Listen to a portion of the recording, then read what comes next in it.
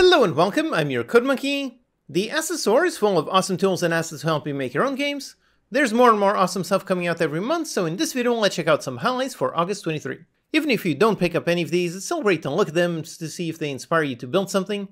Just watching some of these assets is enough to fire up my imagination, I can immediately picture all the kinds of games that I could build. This one is a list of paid asset effects. I've already made two videos covering the best free new assets and best tools and systems, as always, there's links to the assets in the description, and as a bonus, you can use the coupon code monkey10 to get 10% off your order. And there's 4 days left on this humble bundle. Lots of strange monsters, a bunch of spells, some fire and smoke, even a horse controller, and a bunch more interesting stuff. It also has a 10% off coupon. So just in case you want to buy something on the store that is 10 times the bundle price, then essentially the bundle comes out free. Alright, so starting off with a gorgeous stylized farm pack. This one looks really great. If you want something nice and charming, but not low poly, then this style is perfect. This one is a huge pack, features over 2000 prefabs, everything from modular buildings, animals, characters, and tons of plants. This would be the perfect pack if you'd like to make a quick farming minigame. Or maybe you're working on something a bit more hardcore, if so, here's a really nice katana animation pack. Great animations, they are stylish but not too outlandish, features some simple slashes and some really impressive moves, it's also even got air attacks. So you could use this for something more grounded like Ghost of Tsushima, or maybe something inspired by Devil May Cry. And if you have katana animations, you need some samurai visual. Here's a great looking one. Super high resolution, extremely high quality character. This one could really be taken straight from Ghost of Tsushima. The character also has 80 blend shapes on the face, so you can make some expressions or even use it in some real-time AR apps. Next, here's a pack with a ton of gorgeous skyboxes with environments. This is a great way to make your game look so much better with very little effort. Just add a gorgeous skybox, and these also come with some environment images, so just with this one and your world will immediately look great. Or maybe you need some hyper-realistic explosions, if so check out this one. These are alembic explosions, which makes them look really extremely smooth. The smoke looks a little bit too thick, but the fireballs do look perfect. This is all based on vertex colors, so it uses no textures, these also react to lighting, although they will not interact with physics objects. Then here's a fun one, a ton of cartoony emoticons. These can be used in either 2D or 3D.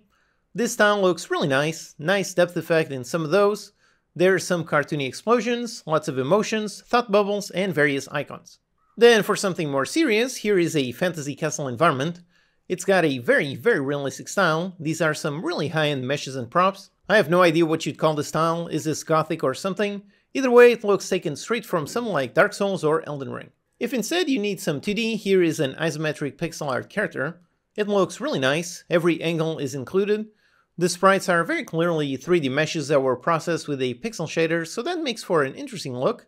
This pack has 5 characters, each with some nice variations and animations. Then here's a fun one, it's a stunt car racing pack.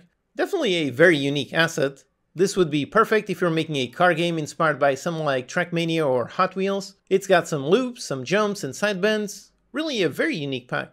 Then for some toon animations, check out this one. It's amazing how animations can also have a toon style, but yep, that is correct, they do look clearly very, very toony.